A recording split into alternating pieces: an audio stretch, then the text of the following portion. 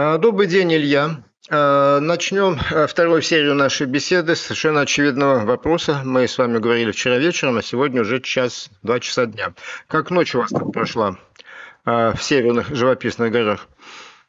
Добрый день. Город действительно живописный. Относительно ночь прошла спокойнее, чем прежние. Угу. Мало пелов, мало артиллерии. В общем, спали хорошо. Вон а как. А они что, притаились я понимаю, что вам не, не доложили э, команды Хизбаллы, но они что притаились? Э, Байдена? А при Байдене не вести себя плохо или это вообще никак не связано? Есть такие предположения. Кроме того, что на самом деле сейчас еще здесь э, полномасштабной войны нет. То есть это то, что называется боевые дни. То есть они пристают и портят жизнь. Мы портим им жизнь угу. тоже со своей стороны как реакция. И ждем. То есть если все задаются вопросом, почему они не открыли второй фронт сразу. Точно. И на это разные ответы и разные мнения, но никто толком не знает. И все задаются вопросом, когда они его таки откроют. Хизбалла с севера или откроем ли мы его. То есть на самом понятно, что это просто э, время ожидания. То есть сейчас это еще не война, но это ожидание ее начала. Угу. А, скажите, до какой степени э, нет, это вопрос не ощущения, а это вопрос реальности. В какой степени война с э, Хизбаллой есть прокси-война с Путиным? Э, как, ну, там вы, как, ну, все-таки какой-то информации у вас есть, в какой степени они вооружены, снабжены и управляемы? Управляемы не только из Тегерана, но, я так думаю, ФСБ тоже там пасется замечательным образом. Что люди говорят? С точки зрения их вооружения, они, очевидно, вооружены в основном русским оружием. Они, то есть, э, вообще израильские враги были вооружены русским оружием С всегда. самого начала, да, с самого начала. С самого начала и всегда, и с тех пор тоже. В наше время они вооружены уже не только русским оружием, а в значительной степени иранским оружием, которое разработано наверняка э, с помощью э, русской технологии. И, и, на базе, и на базе российских образцов. Угу.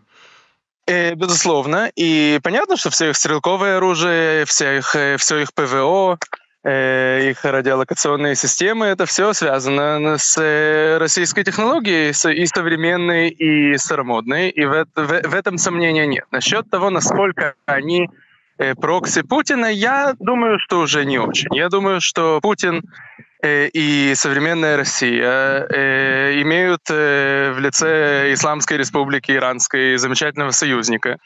И, соответственно, они поддерживают союзников Ирана. То есть Иран поддерживает Россию, Россия поддерживает Иран. Иран поддерживает союзников России, Россия поддерживает союзников Ирана. Хизбалла — это важный союзник Ирана. Более того, русские вместе с Хизбаллой воевали плечо к плечу.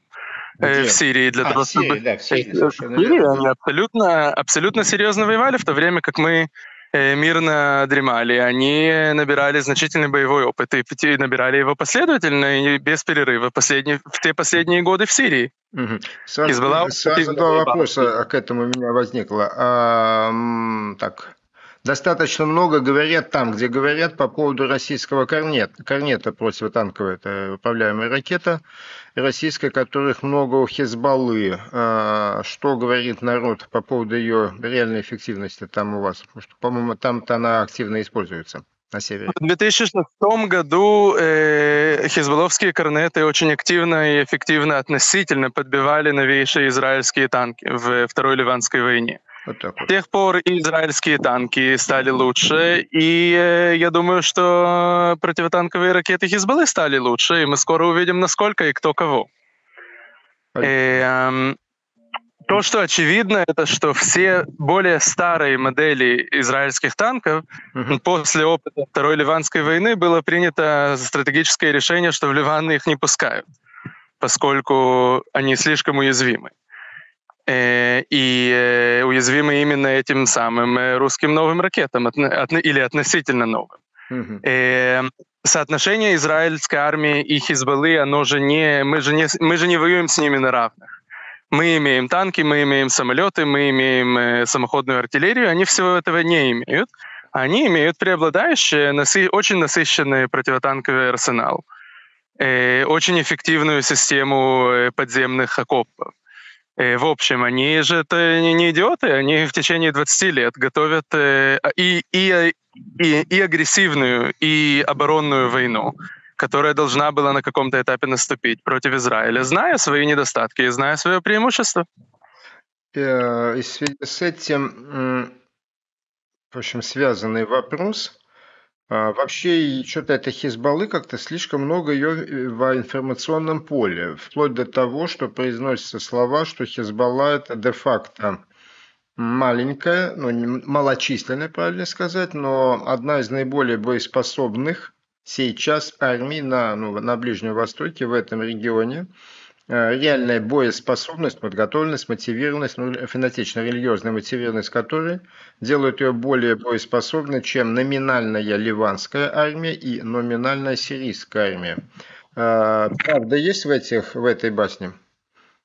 Я думаю, что намного больше правды, чем лжи в этом есть. То, что Хизбалла э, мощнее и эффективнее, чем ливанская армия, было прав...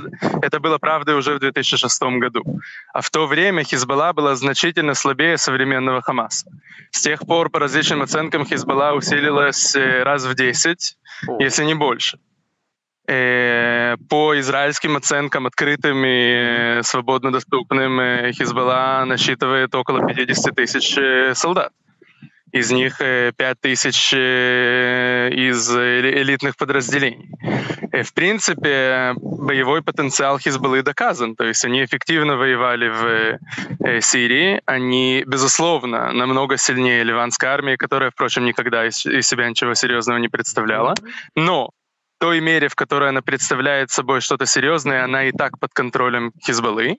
И так мы, и так в Израиле сегодня относятся. То есть в случае настоящей войны они будут воевать на стороне Хизбаллы, поскольку люди на ключ, в ключевых постах в этой же ливанской армии, они на самом деле агенты Хизбаллы. Э, Хизбалла — это из всех э, э, длинных э, щупалец Ирана э, наиболее мощная, без, без какого-либо сомнения. Являются ли они такими всесильными, как их в медийном поле иногда вырисовывают? Нет. Нет, они эффективные. Они, они из всех террористических организаций в мире они наиболее эффективные, безусловно и наиболее угрожающее, то есть факт, что они против Израиля имели э, баланс, э, не, некий стратегический баланс в течение последних 15 лет, то есть мы им позволяли усиливаться, потому что действительно боялись их стратегического ракетного арсенала, который создавался Ираном с э, наверняка российскими э, советниками за, за кадром. В конце концов, кто настоящий эксперт по э, ракетным войскам в мире? Ну, тут уж, тут уж э, как, какой уж авиационный институт не могу не расплыться в удовольствие. Но мы вернемся к делу. Я просто хочу, а, чтобы как-то понятнее стало почтеннейшей публике, на момент начала российского вторжения в феврале, 24 февраля, ну и следующие дни февраля 22 года, по реальным оценкам, по реальным оценкам, а, в российской армии было не более 150 тысяч человек, а, ну, в боевых частях, не считая бесконечных тыловых обеспечивающих и так далее. Причем из этих 150 еще порядка 30 это были каратели, это была Росгвардия. И это на гигантском фронте, понимаете, вот по дуге от Киев через Харьков туда на юг до Мариуполя и туда дальше до Херсона. А здесь э, называется цифра, понятно, что она оценочная и трудно проверяемая, но 50 тысяч на крохотном клочке. Чтобы мне не рыться в гугле, вы можете хоть как-то на скидку сказать вообще, какая там примерная протяженность вот этого ну, Ливанского фронта для Израиля? Там, наверное, километров 30, не больше? Нет? Ливан — это фиктивное государство. Он является фиктивным государством уже более ста лет, просто недееспособное по определению, потому что в нем есть 5-6 э, различных государств, которые воюют между собой уже столетия. Хорошо, скажу э, правильнее. Бала... Э, израильско-хизбаллахский фронт – это примерно какая протяженность? Так вот, э, около 50-60 километров э, израильско-ливанской границы. Э, я то, что хотел сказать, это что Хизбалла имеет подконтрольные себе территории в Ливане. Хизбалла контролирует ливанское государство до только определенной степени, но полностью контролирует шиитско преобладающие районы. Э, Южный Ливан — это шиитско преобладающий район, э, в котором Хизбалла, собственно, правит. Э, другой такой район — это э, Бикат, это Бака, то есть северо- северо-восточная часть Ливана, которая далеко от Израиля и является стратегическим тылом угу. Хизбаллы, куда достаточно трудно добраться. Для этого нужно пройти пешком весь Ливан до севера. Это от Израиля около 200 километров, и туда нужно добраться физически. Э, а еще один очень важный э, район под их контролем — это значительная часть города Бейрут. Так что они имеют глубокий стратегический тыл, и они этот тыл э, вместе с русскими плечом к плечу защищали, э, потому что он их соединяет э, сухопутным э, маршрутом и коридором до Ирана. То есть Иран создал себе э, назем, зем, э, то есть наземный коридор, э, через который он снабжает Хизбаллу уже 15 лет. Это Поэтому через, стратегически... через территорию Сирии, я так, или как это? Да, Зачем Ирану была так важна война в Сирии? Зачем Хизбалла воевала в Сирии? Для того, чтобы поддерживать стратегический шиитский коридор через Сирию от Ирана до Ливана. Но там же, простите, еще Ирак. И Ирак. Ирак тоже шиитско преобладающее да, государство. Угу. То есть они себе так... В, в, в, этом, в этом главная э, большая, ну не очень большая по мировому масштабу, но, скажем, средняя игра по мотивам большой игры 19 века, так это средняя игра Ирана. Тот самый наземный коридор от территории Ирана и до государства Израиль. Слушаю я вас и вспоминаю, вот как вчера помню, то ли август, то ли сентябрь простите, забыл, сентябрь, наверное, все-таки, 1941 года, когда Великобритания и Советский Союз коротко сообщили Ирану, что они вводят войска на его территорию, он должен сидеть тихо. Иран сидел тихо, и вообще как-то в голову никому не пришло, что кроме внятного объяснения надо будет еще что-то делать. Однако кормили, кормили, выплачивали там, десятки, потом сотни миллиардов нефтедолларов э, в качестве дани цивилизованного мира туда. Ну и вот в конце концов, по всем китайским сказкам змея на груди выросла. Однако, однако вернемся. Из всего того, что вы сейчас нам наговорили, следует, что потенциально, потенциально Северный фронт, если он возникнет, а, может быть для Израиля, для израильской армии даже более тяжелым и чреватым, нежели эта злосчастная газа, которая уже всем а, скрипит на зубах, так?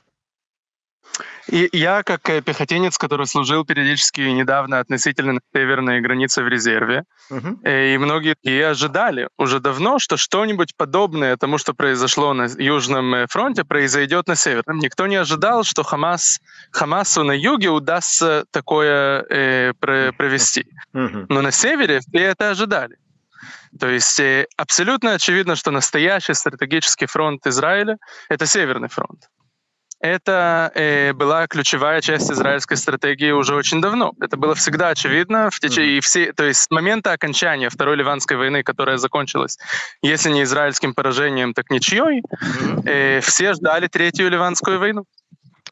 Отлично. И ждали ее в течение последних 15 лет. Ну, слово «отлично» абсолютно какое-то не то, что я сказал, но печально. Печально и драматично то, что произошло 7 числа. Но дело в том, что я вчера вечером а, записал интервью, где этот вопрос я задавал а, генералу в прошлом а, начальника оперативного отдел... управления, оперативного управления Генштаба Израиля, ни много ни мало, Исраиль Зив. А вы же его не слышали? Не слышали, не можете слышать, он только завтра наверное, появится. Поэтому этот вопрос задаю вам, а пулеметчику. Ваше мнение пулеметчика, как вообще могло такое произойти, что у каждого в кармане сотовый телефон, а вся эта линия разграничения с газом увешана датчиками, сенсорами, а, Лично мне говорили люди, ну, скажем так, разрабатывающие инфракрасные системы, что современная инфракрасная система позволяет мышку, мышку видеть, ну, правда, на фоне зим, зимнего снега. И все это, все эти чудеса техники закончились тем, что 2, 3, где-то 4 часа а, банды вооруженных калашами погромщиков прорвались через границу и убивали всех, кого хотели, пока в дело не вмешалась израильской армии, такой феноменальный провал, э, выходящий за все грани, рамки и так далее. Что, что случилось, ваше мнение? Да если бы это было только 3-4 часа, ведь на самом деле это сравнимо с э, войной Судного дня. Три дня во время войны Судного дня отбивали Северный фронт uh-huh. от э, сирийской визы, и три дня на юге отбивали фронт от банды погромщиков. Ответ на мой взгляд, как пулемет, именно на взгляд пулеметчика, э, это что слишком мало внимания в Израиле уже и во всем западном э, э, военном мире, но и в Израиле конкретно, слишком мало внимания уделяли пулеметам и слишком много внимания уделяли датчикам, которые готовы в состоянии заснять даже микробы и вирусы.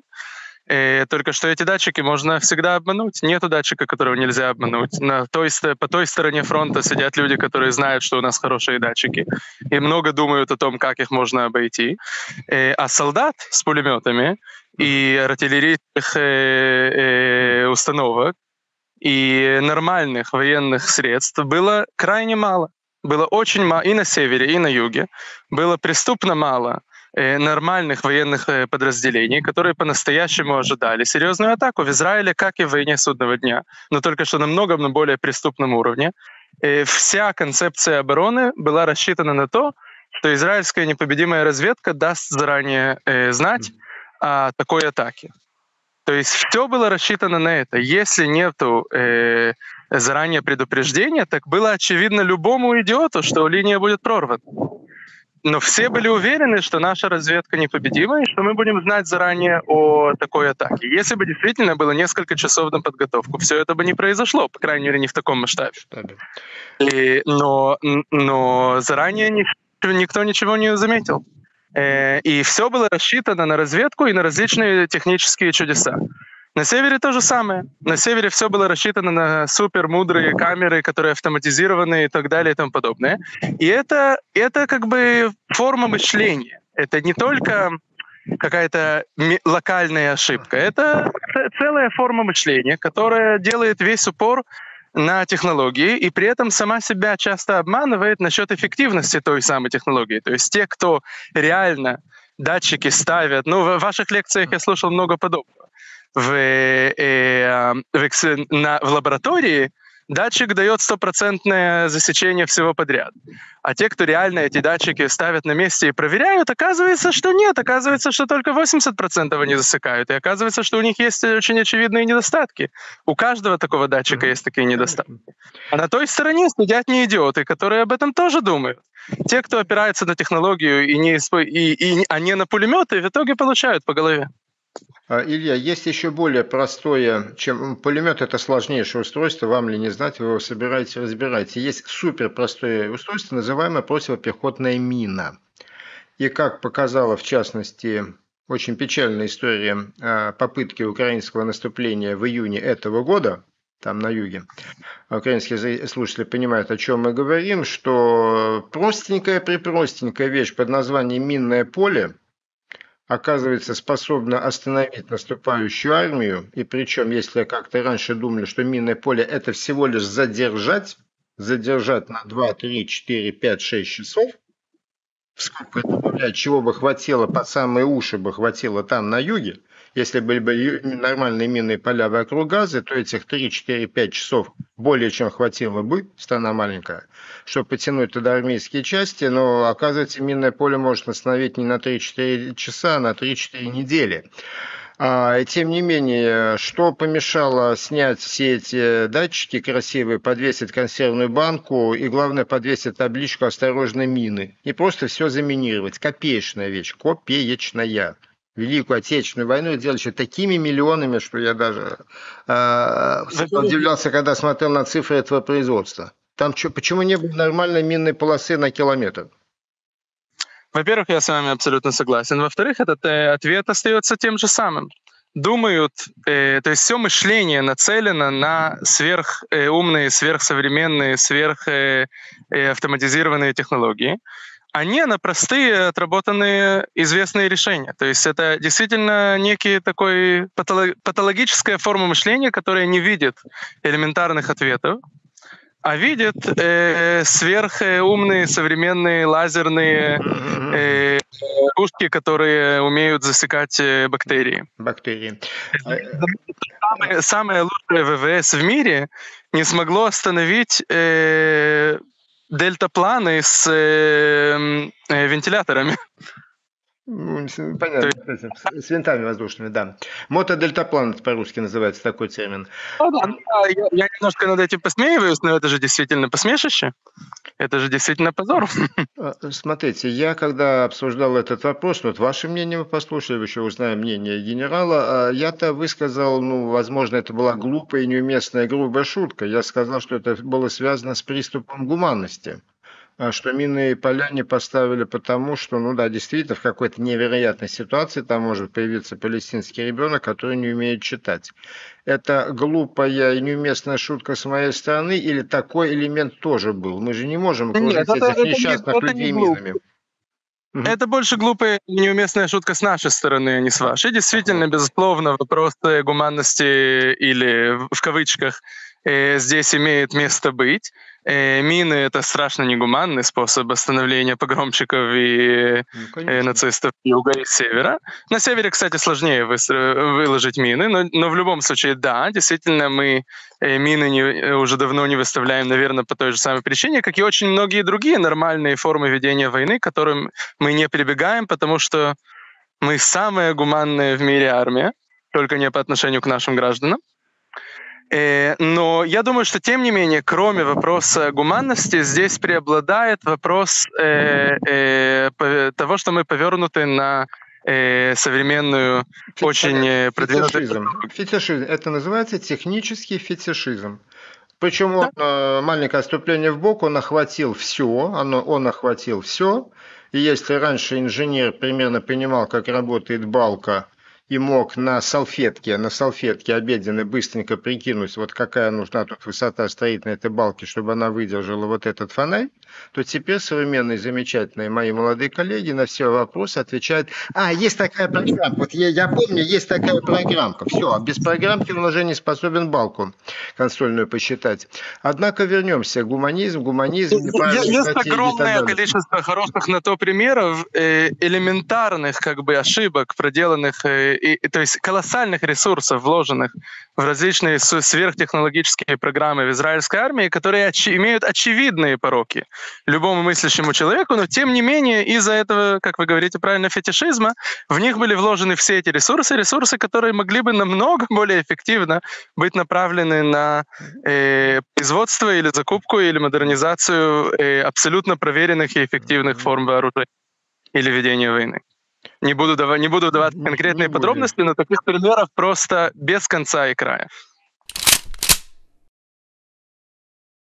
Окей. А скажите, пожалуйста, теперь ну вот э, опять же попытаемся... Я только добавлю одну фразу к этому, что да. это на самом деле результат того, что Израиль давно не воевал настоящую войну. Такие глупости бывают в основном, когда слишком долго народ не воюет и забывает о том, что война проверяется победой или поражением, а не элегантностью различных идей. То есть те, кто воюют настоящие войны, они обычно такие, такие ошибки делают в начале, а потом исправляют. Грешно, грешно сказать, я тоже особенно после того, как делал этот свой огромный цикл у себя на канале, тоже как-то про себя с некоторым ужасом подумал, 50 лет эта страна нормально не воевала. Что там сейчас происходит с армией? Так, кстати... Ну, а не 50 сейчас... было 100. Э, не, не 50, 40, но, но 40 лет это давно. Первая Ливанская война была на самом деле самой... И многие думают, что война Судного дня была самой травм, травмирующей войной uh-huh. израильского общества, но на самом деле война Ливанская первая uh-huh. была более травмирующей, была по-настоящему последней настоящей войной, в которой мы участвовали. Э, и она очень релевантна нашему нынешнему опыту, на, на, нашей нынешней ситуации, потому что накануне, возможно, с большой вероятностью, э, Третья Ливанская война, в то время как вторая была фарсом, и настоящей войной назвать ее никак нельзя было. А вот первая — это действительно последняя настоящая война, в которой мы участвовали, и она была 40 лет тому назад. Илья, я э, насколько неправильно я формулирую, если очень так вот грубо упрощаю, скажу, что первая Ливанская закончилась безусловной военной победой израильской армии и э, весьма существенным политическим поражением, потому что разгромив вооруженную структуру так называемого палестинского этого самого ООПа, Израиль, ну, конечно, под давлением э, полезных идиотов со всего мира позволил Арафату живому уехать, а всему руководству ОПА, Организации освобождения Палестины, уехать, и через какое-то количество лет им еще подарили ослиные соглашения. То есть победа на поле боя и едва ли не поражение в политических итогах. Это как вам? Победа на поле боя и поражение в политических итогах — это, собственно, хлеб и соль израильской истории. Э, все наши войны практически так заканчивались. Э, первая Ливанская война была сложнее. Она отличалась от всех остальных израильских войн. В Первой Ливанской войне был настоящий стратегический замысел. Э, стратегический, политический, то есть был конкретный политический итог этой войны, который, э, на который мы целились. То есть мы имели конкретную геополитическую цель. Это единственная израильская война, о которой такое можно сказать. И расчет был неправильный.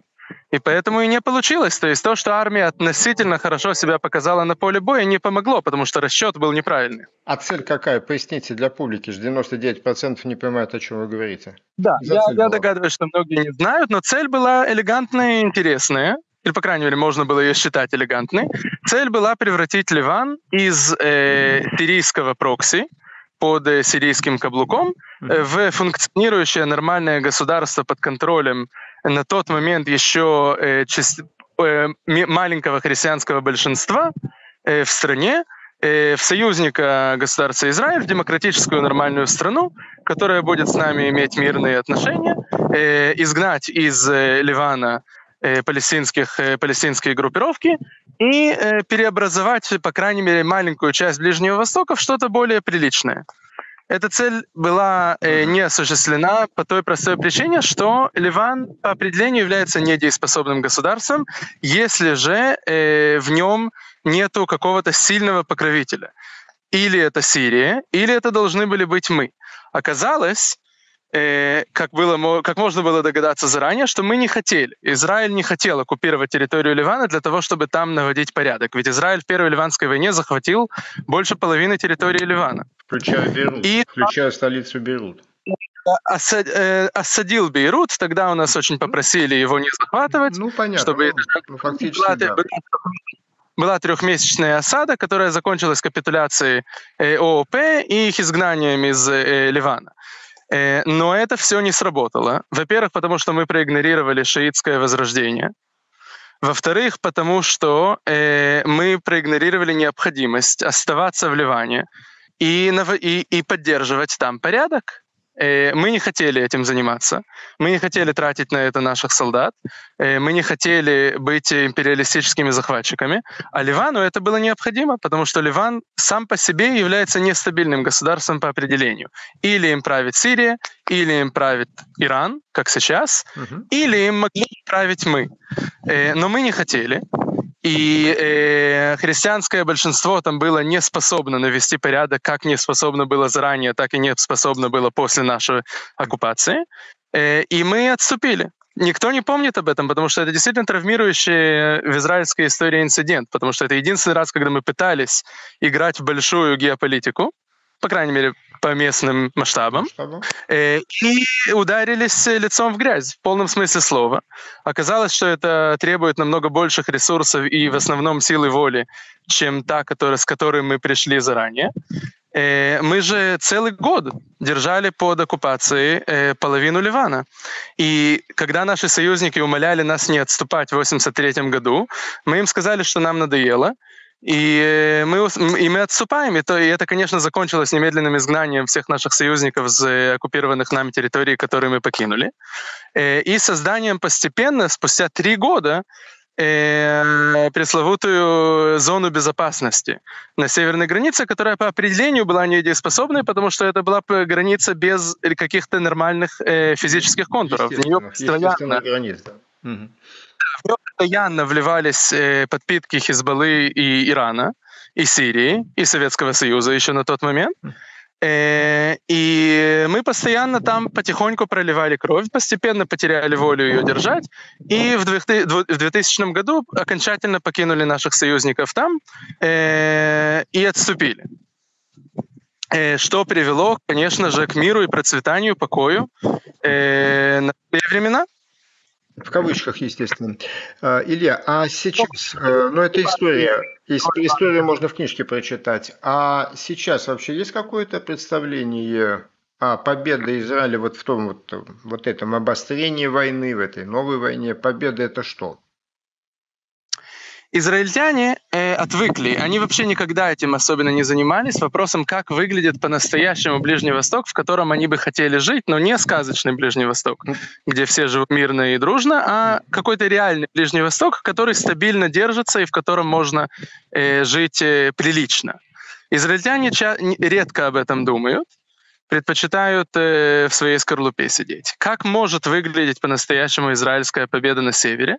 Э, если вы спрашиваете меня, как рядового пулеметчика, mm, так да. все, э, и, ну, на самом деле, как историка-любителя, э, все израильские планы на войну в Ливане всегда включают в себя в первую очередь э, захват Южного Ливана до естественной границы реки Литань, Понятно. которая, кстати, является естественной границей э, всего Северного Израиля. Угу.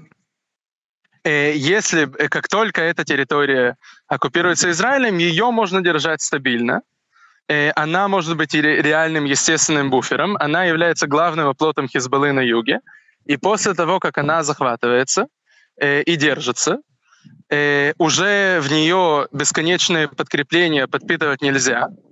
И ситуация может очень значительно стабилизироваться. Будет ли мир? Нет, мира не будет но будет граница, которую можно будет защищать и не держать на ней э, целые дивизии в резерве, как придется, как, э, э, как опыт показал, что необходимо. Израильтяне себя обманывали, думая, что это не обязательно. И слава богу, э, с нами произошло то, что произошло только на юге. Если бы на севере с нами произошло то же самое, что планировалось, ведь на самом деле Хизбалла планировала 15 лет, то, что Хамас проделал mm-hmm. неделю назад. Э, и это известно, и это не секретно. Это они, э, Хизбалла оглашала это сама по себе, э, сама, лично. И это было известно всем солдатам, которые служили на севере, но мы предпочитали об этом не думать. Теперь же действительно израильская армия развернута на северной границе, чтобы предотвратить такой инцидент. Но в условиях нынешней существующей границы и уже создавшейся военной мощи в Южном Ливане, для того, чтобы ситуация хоть как-то стабильно держалась, если только они сами не заинтересованы в немедленной войне, необходимо на северной границе держать огромный военный контингент. Продолжать так, конечно, нельзя. Э, а создать стабильную, нормальную границу на севере Израиля э, по реке Литани можно – можно, и на самом деле любой военный израильский план так, так выглядит. А, интересно, я вас слушал, у меня появилась интересная, знаете ли, мысль. Может быть, вопросительный знак, именно потому, что Хизбалла не сама по себе Хизбалла, а является длинным щупальцем Ирана, каково Иран является большим щупальцем Путина, именно поэтому они сейчас себя ведут так умно, с их точки зрения, сидят не, не лезут, не лезут в эту ситуацию, когда международная поддержка, да еще президент Байден так обозначился, на стороне Израиля. А хамасовцы, вероятно, это опять же вопросительный знак, какие-то бесхозные оказались, брошенные в семьи, и некому было их держать за руки. Нет, я не согласен с таким э, анализом. Э, нужно учитывать, что Ближний Восток — это в основном зона столкновений различных духовных э, идеологий, э, различных ветвей ислама и, конечно же, иудаизма, представленного Израиль. еврейским народом есть.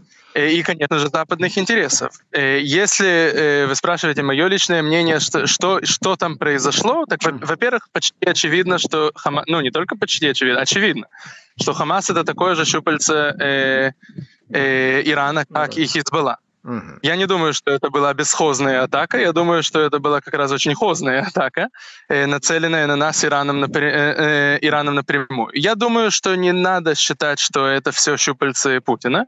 Э, это больше интерес самого Ирана, но Путин, конечно, их поддерживает, потому что они же его, они же его союзники. Э, а что именно, как это понимать? Я думаю, что достаточно легко объяснить произошедшее следующим образом. Самое опасное, что могло произойти с Ираном, это ми- назревающий мир Израиля с Саудовской Аравией. Саудовская Аравия сунниты, mm-hmm. Саудовская Аравия арабы, и, э, и Хамас — это тоже суннитские арабы. Единственные суннитские арабы, которые дружат с Ираном, потому что это, Иран — это единственное э, государство, которое готово этих монстров поддерживать. И все остальные арабские страны ведь их страшно боятся, потому что они знают, что они пытаются э, устроить переворот в любом арабском государстве. Но Иран их поддерживает именно по той же самой причине. Э, и э, если Израиль в результате такой атаки э, учиняет страшную, ужасную и зверскую резню, по крайней мере, как ее в прессе представляют, mm-hmm. среди суннитского арабского населения сектора Газы, так население Саудовской Аравии уже не может поддержать мир с Израилем. И таким образом цель э, Ирана достигнута. Действительно, и Саудовская Аравия приостановила мирные, мирные соглашения э, и мирный процесс с Израилем в результате произошедшего. В этом смысле стратегически это был очень умный ход со стороны Ирана. А насчет этого, насчет судьбы э, палестинцев в Газе, она им, конечно, не интересна ни в, ни, ни в какой мере. Э, что будет на севере и насколько они вмешаются, это интересный вопрос. Э, можно разные представления э, и предположения. Я, секундочку, секундочку. Вы высказали очень интересную, ну, для меня новую, для меня новую и как-то очень, ну, вроде так логически, все прям как патрончики уложились в обойму, все нормально. А вот эту вот схему... Ну, я за пулемет, у меня патрончики да, да, должны... Должно укладываться, да, что это была провокация и иранцев, которые принесли в жертву некоторое количество хамасовцев и жителей Газа, которые расходный материал для того, чтобы сорвать а, из поиска а, а, ну, мирный договор сближения политического между Израилем и Саудовской Аравией. Я только не понял, а в чем же конечной точке-то, что с этого получит Иран? Ведь Иран и Саудовская Аравия дружат как кошка-собака. Они и по религиозному принципу друг другу противники, если не сказать враги, и экономически. Безусловно, и те, и другие но... пытаются продавать одну и ту же нефть. Так в чем а, гешефт Конечно, Ирана? Именно в этом и дело. Усиление э, э, Саудовской Аравии э, ввиду сою, военного союза с Израилем и ее усиление ввиду э, дополнительных союзов с Соединенными Штатами. Э, это для Ирана стратегический кризис. То есть вся цель ослабить Саудовскую Аравию, предотвратить ее возможность э, входить в союз с Израилем. На Ближнем Востоке люди не дружат э, между собой, они дружат против кого-то. Кого-то. А нами да, да, да, я понял. Мне в голову как-то сразу не пришла та простая мысль, что сближение крохотного Израиля и гигантской Саудовской Аравии, гигантский, посмотрите на площадь Саудовской Аравии. Гигантская Саудовская Аравия имеет военный потенциал намного меньше, меньше чем, чем крохотный Израиль. Да, Израиль, поэтому это выгодно для, между прочим, даже для двух сторон, и для саудовцев еще больше. А кроме того, да, израильская военная мощь и проекция израильской военной силы, в принципе, угу. она могла бы очень сильно способствовать Саудовской Аравии. И тут есть еще один цимес.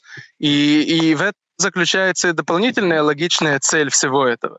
Если Израиль оказывается э, пустой скорлупой, и банда погромщиков в состоянии его армию, по крайней мере, на несколько дней сокрушить и устроить резню среди его населения. А если, и если соседи с севера в состоянии будут учинить страшные, огромные бесчинства и замедлить или даже остановить нашествие израильских войск, так оказывается, что вся эта мощь военная, ради которой Саудовская Аравия могла бы пойти и хотеть пойти с нами на мирный договор, mm-hmm. оказывается э, бесперспективной, потому что если Израиль оказывается, что ничего не стоит, а иранские прокси намного его, и, по крайней мере, с ним соизмеримы, так, может быть, нет, нет никакого смысла с нами идти на какие-либо мирные соглашения, если мы слабые. Это тоже что-то, что Иран заинтересован доказать. А, Илья, уважаемый, я смотрю одним глазом на часы все время, и возможности восприятия публики тоже не безграничны, хотя я понимаю, что у вас-то мыслей много. А, позвольте вам тогда задать один последний вопрос, он будет такой длинный, но он вообще, по сути дела, фундаментальный. А вообще? Ну вот та боевая операция здесь, здесь боевая операция там. А вообще, как вот вы Ну, понятно, что вы немало об этом думали, немало читали и общались с умными людьми, это видно. А как вы себя видите, э, ну, финальное, принципиальное решение этой проблемы? Проблема заключается в том, что на территории, отведенной для создания еврейского государства, от реки Иордан до Средиземного моря, решение Лиги наций 20-22 годов. На этой территории сейчас проживают миллионы арабов, людей другой культуры, другой религии, людей, которых самое малое полвека, полвека накачивали животной ненавистью к Израилю и евреям. Они тут живут, они реально живут, но главным образом идея Самария, ну, как-то газа сейчас уже ну, меньше, наверное, меня, меня бы беспокоила эта проблема. Она будет сейчас решена военным и жестким путем. А вот эта проблема, там 2,5 миллионов арабов под контролем, фактически под контролем так называемой палестинской национальной администрации, эта проблема, она вечная или у нее может быть какое-то сложное, хорошего точно нет, хорошего нет, но сложное, тяжелое, дорогое, но решение. Вопросительный знак. Да, вопрос, во-первых, очень уместный, очень правильный. Э, и ответы на него сложные. То есть то, что на него нету элементарно простого ответа, это именно та причина, по которой э, он не был решен по сей день, и по которой израиль, средний израильтянин не очень знает, как по-настоящему должна выглядеть победа, потому что израильтянин понимает, сейчас уже средний израильтянин понял окончательно то, что он игнорировал в течение многих лет, что жить э, плече, плечо к плечу с э, государством Хамаса невозможно. И игнорировать то, что они хотят нас всех э, вырезать в прямом смысле слова, больше нельзя. И поэтому какое-то решение другое, чем то, которое до сих пор э, реализовывалось, должно иметь место. В, плане, э, в контексте сектора газа на самом деле ситуация просто элементарно простая. Я как человек верующий думаю, что Всевышний нас направил к ней. Э, достаточно намеренно. И ведь на самом деле в секторе газа действительно проживает 2 миллиона э, жителей, которые в нем находиться не хотят. Если только, и, и, и к этому стоит добавить, что сейчас Израиль понял, очевидно, что сектор газа должен быть, быть захваченным хотя бы для того, чтобы уничтожить в нем государство Хамаса. Но в процессе того самого уничтожения государства Хамаса население куда-то захочет уйти, если только дорога для него будет открыта на юг в Египет, проблема сектора газа стратегически будет решена навсегда. Никто, без какой-либо насильственной депортации даже единого человека, потому что население сектора газа хотело бы уже очень давно смыться из этого сектора и удрать куда только возможно. То есть я, я думаю, что есть только, одно, только одна вещь, которую они хотят больше, чем э, вырезать евреев, это куда-нибудь смыться оттуда. Mm. Если военные действия в секторе Газа приведут к тому, что наконец-то откроется южная граница, и если для этого нужно что-нибудь э, предоставить Египту, так это вполне возможно, тогда э, э, в Газе не останется 2 миллиона э, ненавидящих нас э, арабов. В Газе, я думаю, не останется и одной десятой этого. И те, кто из нее идут, даже не нужно будет насильственно препятствовать их возвращению, они просто не захотят вернуться. Так что решение стратегического вопроса газы, оно на ладони, на самом деле. Mm. Это пункт номер один. С Иудеей и Самарией ситуация, конечно, немножко сложнее. То, что очевидно было израильским э, государственным деятелям с шестидневной войны и далее, и до шестидневной войны, это что, в принципе, для э, какой-либо безопасности государства Израиль контроль над территорией Иудеи и Самарии должен быть в э, руках Израиля. Это в плане безопасности. В плане национальной родины это тоже очевидно. Иудея названа в честь иудеев. Самария названа в честь Северного Израильского царства Самарии. Так что это на самом деле центр еврейской родины, а не какая-то его окраина. Это не заокеанские колонии, mm-hmm. это не экспансионизм, это центр еврейской цивилизации. Тут никакого спора не может быть. Э, но вне национально-исторических вопросов, просто с стратегической точки зрения, контроль над Иудеей и Самарией обязан быть под, э, э, в руках Израиля. Насколько возможно э, этот контроль распространять над населением, которое нас э, э, э, не любит? Это интересный вопрос. Если бы мы не создали 30 лет назад преступным образом палестинскую автономию, которая действительно, как вы правильно говорите, накачивала свое население 30 лет животной ненавистью к, к еврейству и к государству Израиль, все это было бы намного проще. С демографической точки зрения это тоже не конец света. Там 2 миллиона э, э, людей, которые рожают намного меньше сегодня уже детей, чем средний еврей в Израиле, в отличие от того, что было раньше. Крах э, арабской демографии во всем мире это уже очень хорошо зарегистрированный факт. Так что если бы они не хотели нас всех убить, с ними жить можно было бы. Ввиду того, что они очень хотят нас убить, ситуация становится сложнее. Э, очевидно, что израильский военный контроль там э, реалистичен. Он уже давно э, реализован на, на месте. Он, он должен быть и может быть намного жестче, чем он сейчас. Палестинская автономия должна была бы давно быть расформирована. И, и ситуация должна вернуться к нормальному израильскому контролю, как было до 1993 года. Э, и, в принципе, это не идеальное решение, но в Ближнем Востоке идеальных решений нет но это реальное решение. То следует вспомнить о том, что вещь, которую, наверное, слушатели не знают, о том, что уровень жизни палестинцев, иудеев и Самарии выше, чем уровень жизни среднего араба в любом арабском государстве под э, суровым и жестким э, контролем э, жестокой израильской агрессии. Так что, в принципе, если бы они не хотели нас так э, э, охотно убивать, так можно было бы жить вместе. И как все будет развиваться дальше, это на самом деле в значительной степени зависит от них. Чем они больше будут хотеть нас убить, тем это будет э, ближе и э, агрессивнее приближаться к той или иной форме э, депортации, но это зависит на самом деле от их внутренних культурных вопросов. Израильское общество даже сейчас, после э, резни, которая была учинена на юге, еще очень далеко Э, от э, э, мыслей о, каком-то насиль... о какой-то насильственной депортации кого-либо, даже в секторе газа.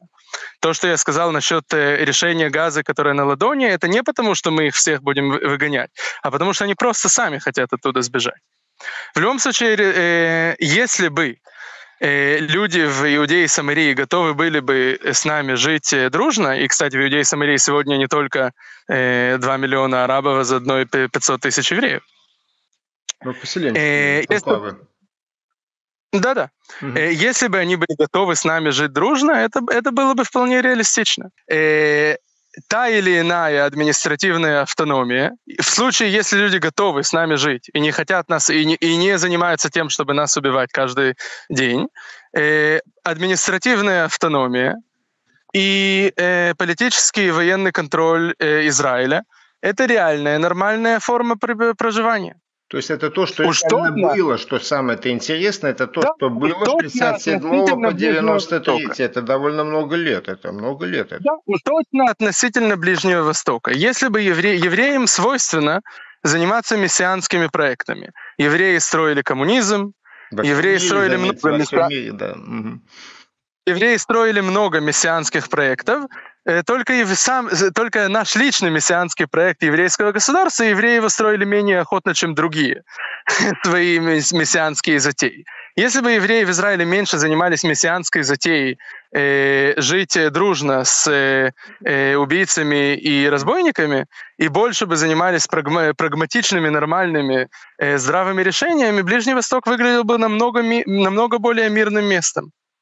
А это совершенно деле... оптимистическая да, ноте. Я хочу просто добавить, я вот держу загнутый палец. А Илья сказал, что рождаемость а, арабов на здесь, смотри, на западном берегу, э, во много раз меньше, конечно, не во много раз, она нет, во ну, много... Нет, нет, я, я, у меня прямо перед глазами статья, просто сейчас вот передо мной статья вот на компе открытая, свеженькая, демографическая, она снизилась, она значительно снизилась по сравнению с тем, что было вообще в какие-то древние времена, там в начале в начале 20 века, когда, как во всем мире, в бедных нищих странах женщина рожала 9, 10 детей, из которых двое как-то выживали.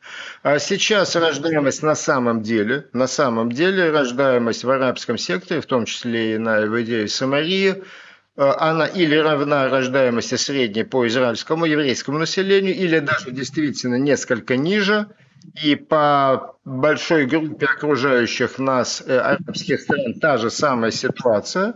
То есть никуда от правды не уйдешь, и те процессы, которые, начиная с 20 века, сначала охватили ну, богатую часть мира, То есть планирование рождаемости, контрацептивная революция, другое отношение к количеству и качеству воспитания детей, оно неизбежно надвигается сюда, тем более, что, еще раз, как абсолютно верно сказал Илья, это подтверждается всей статистикой, по точке зрения материального уровня, дохода, доступа к медицине и так далее.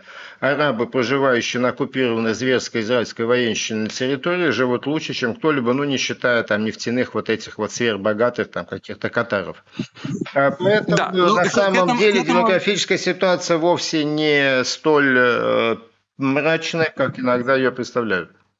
К этому я только хотел добавить одну мысль. Во-первых, насчет э, богатых э, катарских эмиратов, там только граждане хорошо живут, а не большинство населения, которое гражданство не имеют. Угу. Это раз, это маленькое замечание. А другое замечание, это что в Иудее и Самарии есть постоянные массивные отрицательная иммиграция, то есть постоянно оттуда арабы эмигрируют в другие страны, не потому, что им так плохо в Иудее и Самарии, а потому что они востребованы в других арабских странах как специалисты.